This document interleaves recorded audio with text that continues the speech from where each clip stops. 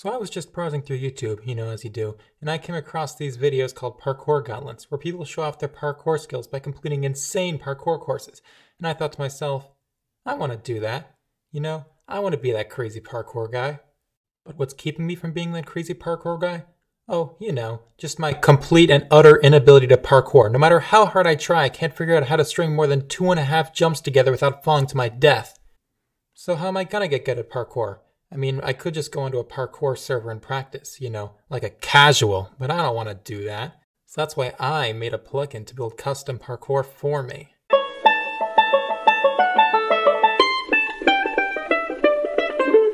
So I'm sure you've all seen this kind of parkour generator where a block appears in front of you after every jump again and again until you inevitably fall and die. But what if you want to practice more than, you know, the most basic parkour out there? Well, let's just say my parkour maker has you covered. We got Neos. We got slime jumps. I, I, I don't know what this one's called, but we got it anyways. And what my plugin does, it takes a few of these segments and smacks them together to make a short parkour course. Does it make good or fun parkour? No, not at all. But it's hard to make parkour, okay? So unless you want to make a parkour generator yourself, too bad. So when you first generate a parkour, you'll be presented with one of four difficulties. We got the easy parkour, so easy that even I can complete it first try. We got the medium parkour, providing, you know, a little bit of challenge. We got the hard parkour, the parkour that takes me just a few tries to complete.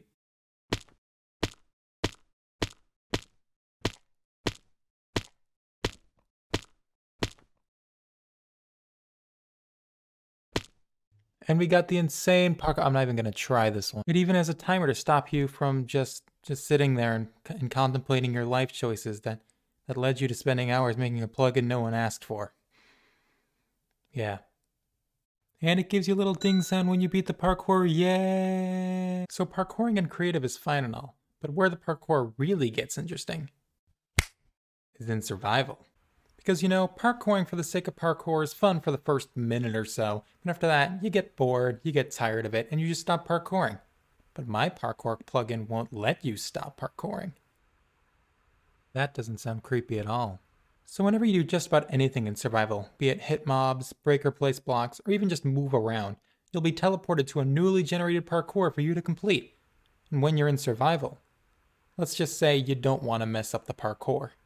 So for example, let's say you're just minding your own business. See what I did there? Mining. Instead of minding, it's mining. Okay. When all of a sudden you're teleported to a parkour, you can just complete it and be on your merry way. But as soon as you run out of time...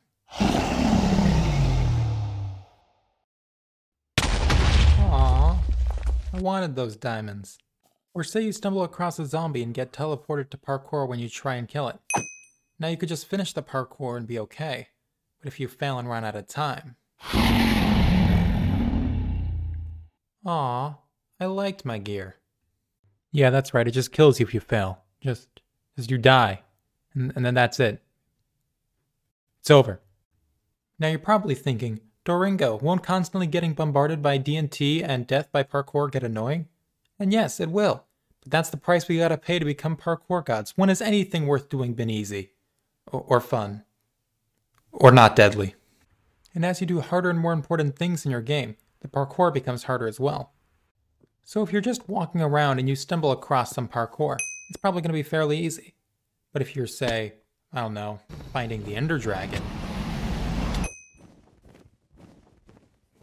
Oh, for Now I know what you're thinking. Oh, Dooringo, this is such a cool plugin and video and I'm going to subscribe right now and watch this video over and over again. And yes, you just, you go do that. Please go do that right now. Okay, bye.